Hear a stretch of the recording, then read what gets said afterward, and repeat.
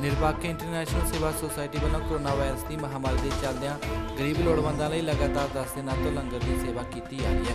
ਇਸ ਨੇਕ ਉਪਰਾਲੇ ਵਿੱਚ Davinder Singh Belgium, Gurdial Singh Belgium, Jagroop Singh Belgium, Palvinder Singh, Spain Resham Singh German, Pargat Singh German, Partap Singh German, Gurmeet Singh Khumian German ਅਤੇ ਸੁਖਦੇਵ ਸਿੰਘ ਹੇਰਾ German ਖਾਸ ਤੌਰ ਤੇ ਸੇਵਾ ਨਿਭਾ ਰਹੇ ਨੇ। ਮੇਰਾ ਰਿਪੋਰਟ, ਆਵਾਜ਼ ਕਮ ਵਾਹਿਗੁਰੂ ਜੀ ਕਾ ਖਾਲਸਾ। ਵਾਹਿਗੁਰੂ ਜੀ ਕੀ ਫਤਿਹ।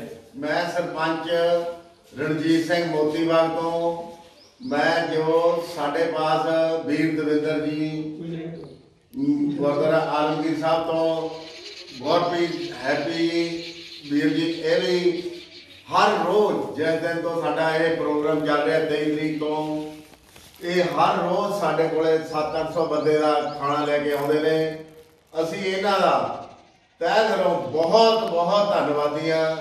ਹਰ ਰੋਜ਼ ਇਹਨਾਂ ਨੇ ਸਾਨੂੰ ਵਿਸ਼ਵਾਸ ਦਿਵਾਇਆ ਜੀ ਵੀ ਅਸੀਂ ਹਰ ਰੋਜ਼ ਜਿੰਨੇ ਦਿਨ ਵੀ ਇਹ ਪ੍ਰੋਗਰਾਮ ਚੱਲੂ, ਵੀ ਅਸੀਂ ਤੁਹਾਡੇ ਨਾਲ ਮੋਢੇ ਨਾਲ ਮੋਢਾ ਲਾ ਕੇ ਸਹਿਯੋਗ ਦੇਵਾਂਗੇ ਅਸੀਂ ਇਹਨਾਂ ਵੀਰਾਂ ਦਾ ਬਹੁਤ ਬਹੁਤ ਤਹਿ ਦਿਲੋਂ ਧੰਨਵਾਦ ਕਰਦੇ ਹਾਂ ਤੇ ਗੁਰਦੁਆਰਾ ਸਾਹਿਬ ਕਮੇਟੀ ਦਾ ਵੀ ਬਹੁਤ ਬਹੁਤ ਤਹਿ ਦਿਲੋਂ ਧੰਨਵਾਦ ਕਰਦੇ ਹਾਂ। ਸੋ ਮਾਤਾ ਬਿਪਨ ਕੌਰ ਜੀ ਮਾਤਾ ਬਿਪਨਪ੍ਰੀਤ ਕੌਰ ਜੀ ਉਹ ਵੀ ਸਾਡਾ ਬਹੁਤ ਸਹਿਯੋਗ ਦੇ ਰਹੇ ਨੇ।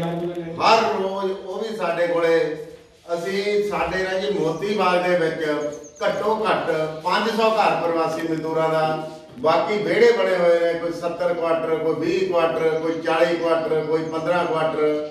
ਅਸੀਂ ਘੱਟੋ ਘੱਟ ਨਾ ਜੀ ਇੱਥੇ ਆਪ ਹੀ ਅਸੀਂ ਲੰਗਰ 2000 ਬੰਦੇ ਦਾ ਤਿਆਰ ਕਰਦੇ ਹਾਂ। ਅਸੀਂ ਕੋਈ ਵੀ ਬੱਚਾ ਕੋਈ ਵੀ ਬਜ਼ੁਰਗ, ਕੋਈ ਵੀ ਰੋਟੀ ਖਾਦੇ ਤੋਂ ਬਗੈਰ, ਖਾਣਾ ਖਾਣ ਤੋਂ ਬਗੈਰ ਅਸੀਂ ਭੁੱਖਾ ਨਹੀਂ ਸੌਣ ਦਿੰਦੇ। ਅਸੀਂ ਪੂਰਾ ਤਨ ਮਨ ਦੇ ਨਾਲ ਮੇਰੇ ਸਹਿਯੋਗੀ, ਸਾਡੇ ਪੰਜ ਸਾਹਿਬ ਬੰਦ ਖਾਨ ਜੀ, ਸਾਡੇ ਆਪਣੇ ਗੁਰਜੀਤ ਪੰਜ ਜੀ, ਸਾਡੇ ਗੁਰੀ ਵੀਰ ਜੀ, ਬਾਬੂ ਜੀ, ਸਾਡੇ ਢਿੱਲੋਂ ਸਾਹਿਬ ਹੋਰ ਸਾਡੇ ਸਰਦਾਰ ਜੀ ਸ਼ੌਂਕੀ ਜੀ ਬਹੁਤ ਸਾਰੇ ਸਾਡਾ ਸਹਿਯੋਗ ਦੇ ਰਹੇ ਨੇ ਵੀਰ ਜੀ ਜਿਹੜੇ ਸਾਡੇ ਨਾਲ ਰਲ ਕੇ ਮੋਢੇ ਨਾਲ ਮੋਢਾ ਲਾ ਕੇ ਦਿਨ ਰਾਤ ਸੇਵਾ ਤੋਂ ਸਵੇਰੇ 12 ਵਜੇ ਕੰਮ ਸ਼ੁਰੂ ਹੋ ਜਾਂਦਾ ਰਾਤ ਦੇ 9 ਵਜੇ ਤੱਕ ਕੰਮ ਚੱਲਦਾ। ਅਸੀਂ ਇਹਨਾਂ ਸੱਜਣ ਵੀਰਾਂ ਦਾ ਬਹੁਤ ਬਹੁਤ ਤਹਿ ਦਿਲੋਂ ਧੰਨਵਾਦ ਕਰਦੇ ਹਾਂ। ਵਾਹਿਗੁਰੂ ਜੀ ਕਾ